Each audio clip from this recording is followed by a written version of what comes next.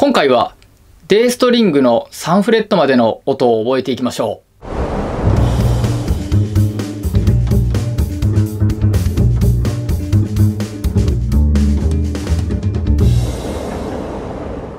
はい、どうもです。ベーシストの森田哲夫です。今日もよろしくお願いいたします。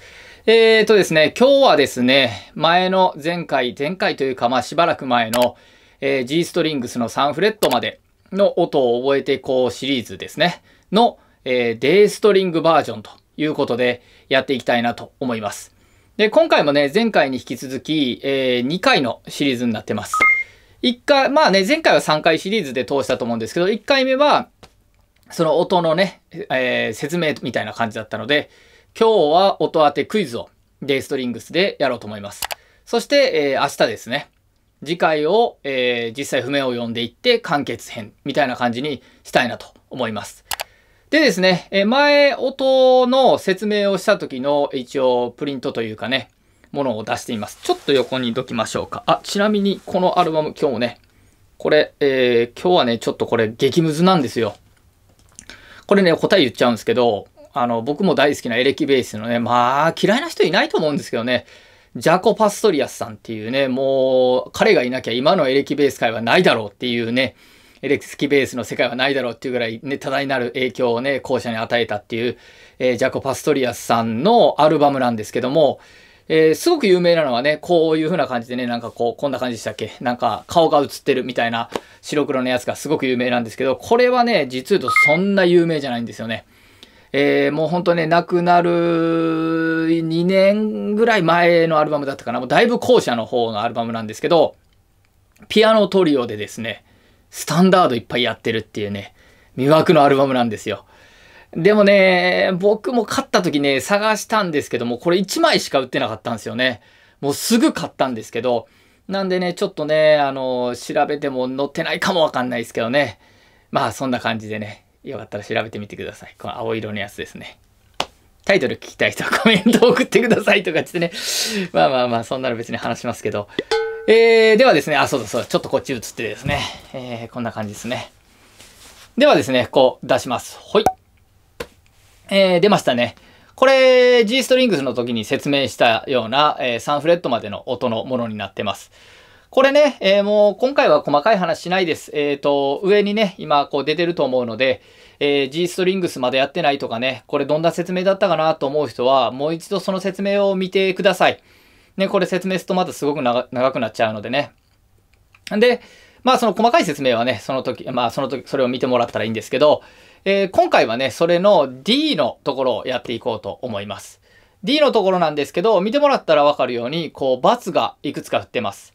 まあこれ×は何かっていうのも、まあその時に説明してるんですけど、今回×の音っていうのは出てこないので、あの、無視してもらって大丈夫です。でね、まあね、この、今回のこの音を出てき、えー、まず今日はね、音当てクイズっていうことでやってもらって、音を覚えてってもらったらなと思います。で、ちなみにこの、えっ、ー、と、プリントというかね、この紙は、えー、特にその時は出さないので、まあ今のうちににらめっこしてなんとなく覚えるとか、まあ音当てクイズする前に、実際自問自答でやってもらうとか、あとはですね、まあ、これたびたび申し訳ないんですけど、こう、下にね、貼っつけときますけど、えー、説明欄のとこにね、ノートっていう外部サイトがあるんですけども、そこで200円で売ってます。200円で売ってると言ってもですね、これ1枚だけじゃないんですよ。1枚だけだと高いですよね。あの、明日やる G、あ、 D strings の D string のプリントと、それから前やった G と、それからこの後やっていく A と E のプリントと、開放弦のプリントと全部で説明のやつも合わせて7枚のえー、プリントが200円で売ってますので、もしよかったらね、えっ、ー、と、まあ、買ってやろうじゃないかっていうね、お優しい人がいたらすげえ嬉しいです。ちなみにね、買ってくれた方、ありがとうございます。あの、ちゃんとね、ノートからピロピロンと連絡が来てますのでね、誰が買ってくれたかっていうのはね、大体把握してますのでね。で、えっと、まあ、この買ってくれた人になんですけども、えっと、この紙とか、今日、あの、明日やるようなプリントっていうのは、その中に入ってますので、また再度間違えて買い直さないようにしてくださいね。あの、森田に小遣いやるかって言うなら同じの買ってもらってもいいんですけど、まあそんなんでね、お金使うぐらいならね、コーヒー一杯飲んでもらった方がいいと思うのでね。そんな感じでしてあげてください。まあそんな感じでこのプリントが出てきているものを、えー、実際にやっていこうと思います。まあ、ぐだぐだ話してると長くなってしまうのでね、音当てクイズ、今日もスタートしていきたいと思います。どうぞはい、どうもです。では、えー、早速ね、行ってみようかと思います。まずはね、ものすごくゆっくりなテンポ、テンポというかね、ゆっくりなタイミングで出していきます。10問いきます。では、行ってみましょう。はい。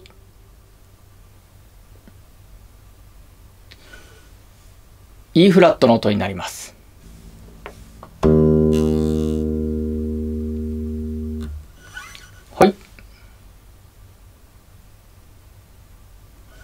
F の音になります。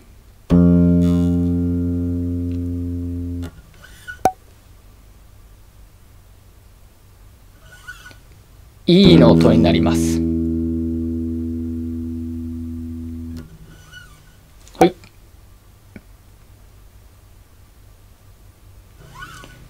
D シャープの音になります。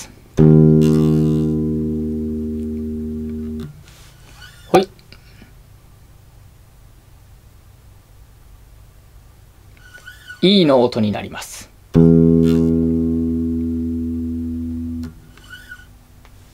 い。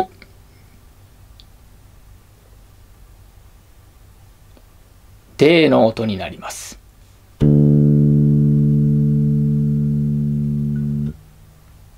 い。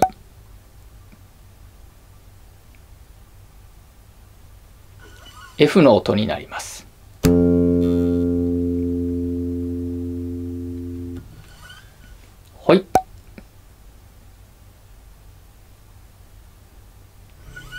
E フラットの音になります。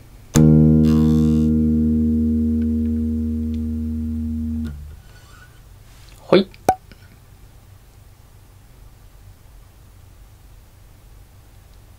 F の音になります。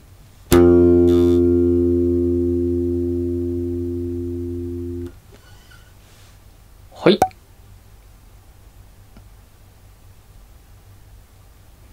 D シャープの音になります。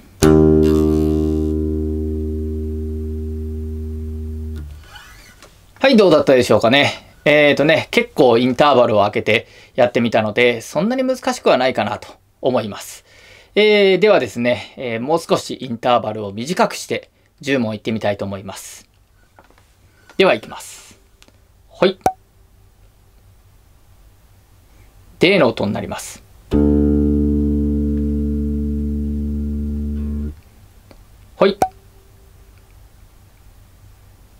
F の音になります。はい。E フラットの音になります。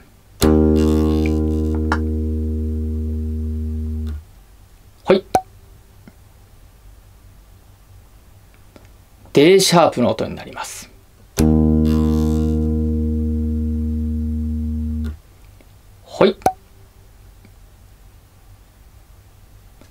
E の音になります。はい。F の音になります。は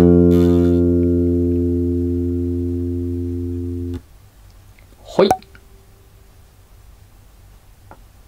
D の音になります。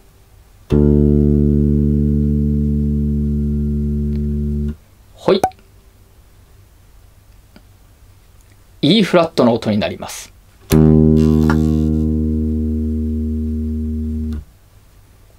はい。E の音になります。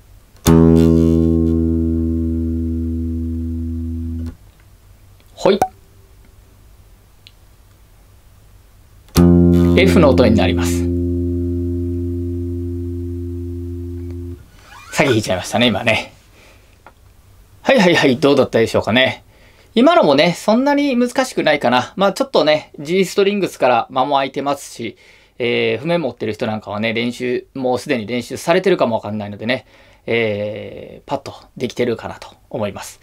ではですね、もう少しインターバルを短くして、そして、えー、途中からは、えー、だんだん速くしていきます。そんな感じでね、えー、続けて20問いきたいなと思います。では行ってみます。ほい。F の音です。ほい。E の音です。ほい。D シャープの音になります。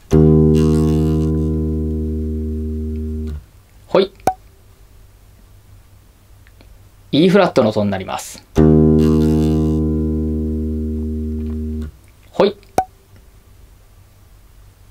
D の音になります。ほい。E の音になります。ほい。D シャープの音になります。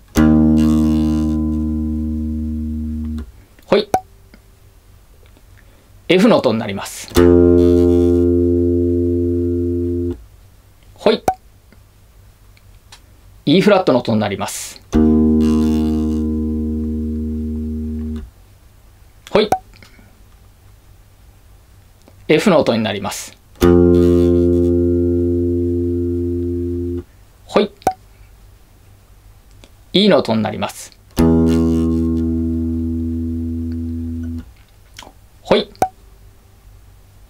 E フラットの音になります。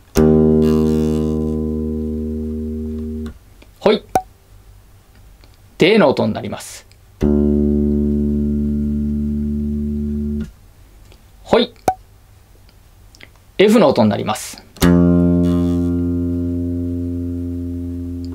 ほい。D シャープの音になります。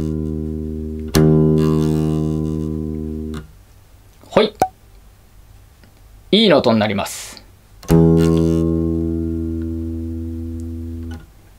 ほい。F の音になります。ほい。E フラットの音になります。ほい。F の音になります。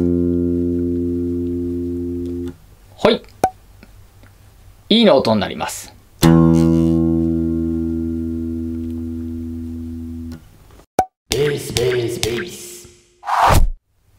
です。お疲れ様でした。どうだったですかね。まあもうね、だいぶこの感じに慣れてきたんじゃないかなと思います。なのでね、そんなに難しくはないんじゃないかな。うん。うん って言って、勝手に納得して、難しかったって向こうで言ってるかもわかんないですけどね。難しかったと思う人は何度もやってあげてください。えっ、ー、と、実はね、こういう風な動画を作ろうっていうのはね、前から結構思ってたんです。なかなかね、大体動画とかって説明したりして終わりじゃないじゃないですか。え説明して終わりじゃないですか、ほとんどのって。で、なんか、あの、見てる人はね、ああ、なるほど、なるほど、そういうことかって理解したような感じになっちゃうんですけど、意外とね、それできてないことが多いんですよね。なのでね、実際問題を出したり、クイズを出したりしながらね、あの、ゆっくりゆっくり進んで、しっかり身につけてもらうような感じでやりたいなという構想があったので、このクイズ、ね、あの、しっかり楽しんでやってってあげてください。まあ、そんなこんなでね、明日はその今まで出てきた音を実際の譜面に合わせて弾いていきたいなと思っております。まあ、そんなこんなで今日もお疲れ様でした。また次回もよろしくお願いいたします。